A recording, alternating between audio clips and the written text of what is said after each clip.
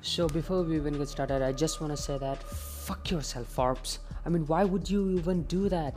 So today I was just watching some TV spots of Avengers Infinity War and I was just watching some reviews.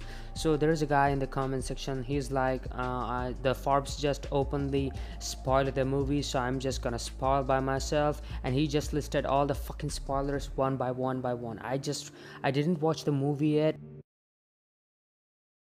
But damn man, I mean, they just the Forbes just completely ruined my experience, which was I was going to have in the movie theater itself.